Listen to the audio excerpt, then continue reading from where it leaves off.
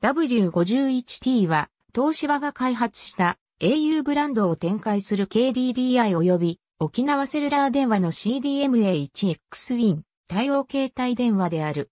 2007年2月9日より順次発売。au 向けの東芝製端末としては初めてワンセグに対応した端末でもある。外見的には W44T、機能的には W45T をベースにしている。2007年春モデルの中では、フラッグシップモデルの W52T に対して、スタンダード端末の位置づけにある W44T と違い、サブディスプレイも搭載している。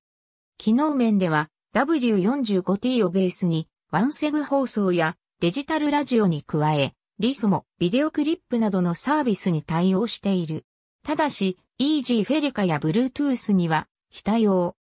3D グラフィックアクセラレータは、モバイルターボ T4G から進化したモバイルターボ T5GP が搭載されている。後に W52T、W53T、W54T にも搭載された。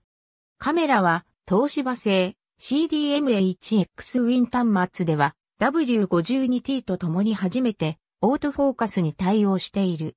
なお、後発の W62T、W64T には同一の電池パックが使用されている。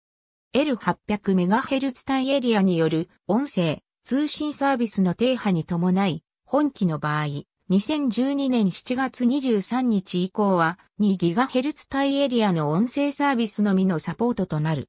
ありがとうございます。